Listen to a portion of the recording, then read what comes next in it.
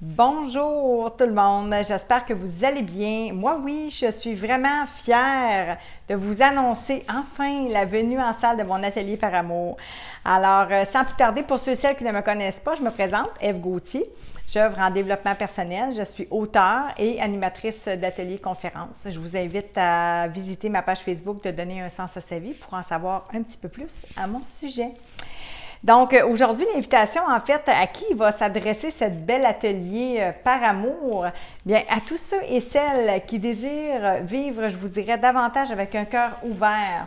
En fait, moi, je réalisais pas trop, jusqu'à il y a trois ans, que j'avais le cœur plutôt fermé, que j'étais vraiment pris dans mon système de pensée, mon mental, mon ego dominé et vraiment dans une certaine fermeture, division avec moi-même. Donc, couper beaucoup avec mes idéaux, mes élans de vie profonds. Euh, je faisais les choses beaucoup par raison. J'étais vraiment dominée par la peur de mon mental, donc euh, pris dans de nombreux pièges.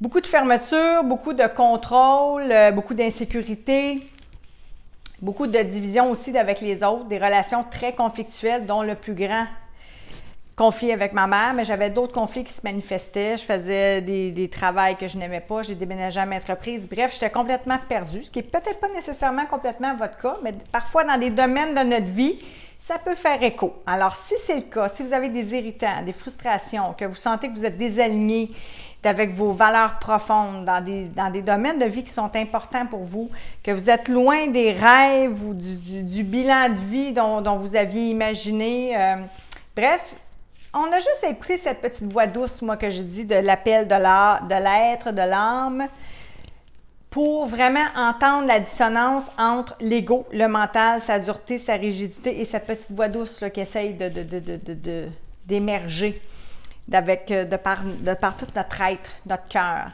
pour aller vers un nouveau chemin. Alors moi, c'est là que je veux vous inviter à aller. C'est vraiment prendre conscience, donc sortir du déni, de prendre conscience, mais surtout, c'est mon unicité, c'est ma spécialité, même j'ose dire, c'est l'ouverture du cœur. Fait que ça, là, je vais vraiment y veiller personnellement. Je vais vous inviter, vous outiller. Je voulais vraiment vous inviter en salle pour vous mobiliser, pour vous inviter à vous engager, pour partager aussi au niveau du groupe, c'est-à-dire volontairement, bien sûr, parce que les uns, les autres, nous sommes des êtres d'union. Nous sommes semblables et autant au niveau des souffrances que du, bonheur qui va nous habiter, on va s'entraider, on va vraiment aller plus loin ensemble. Alors, c'est la force aussi d'un groupe.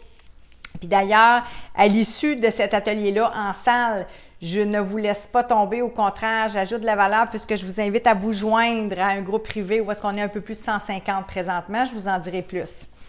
Et je vais aussi vous offrir mon outil guide, mon outil vraiment euh, d'ouverture, d'élévation au niveau du cœur et de l'être, qui est mon carnet par amour. Je vous en reparle aussi, mais ça sera euh, vraiment, c'est mon outil chouchou.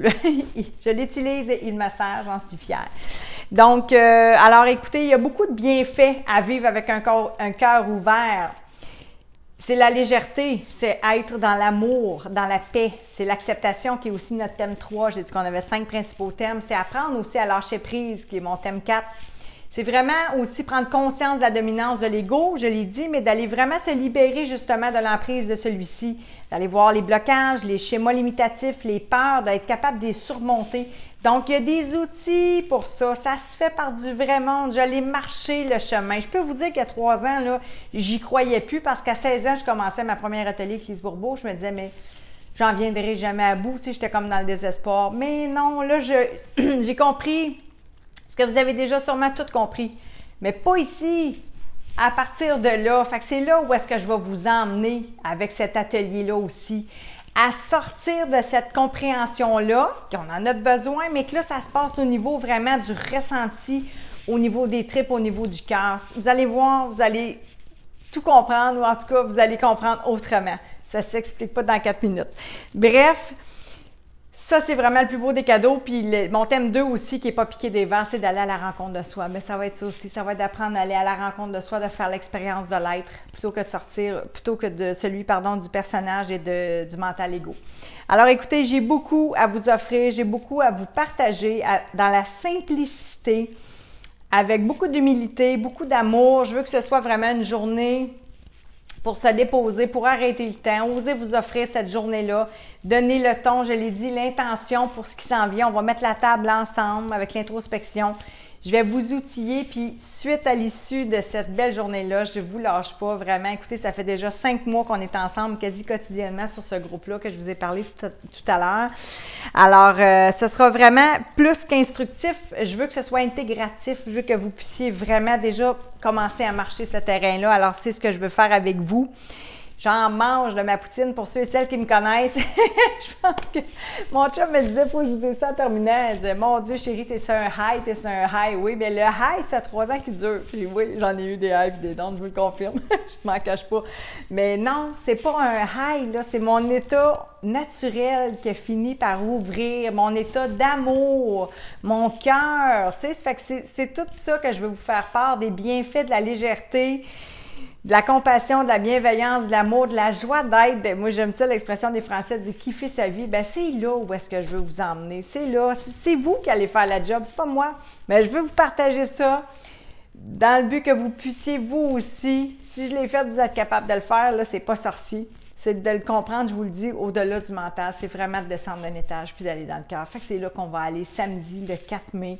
Je vous y convie Allez-y, venez vous inscrire, réservez votre place. Ce sera de petits groupes, je tiens à le mentionner, c'est important pour moi.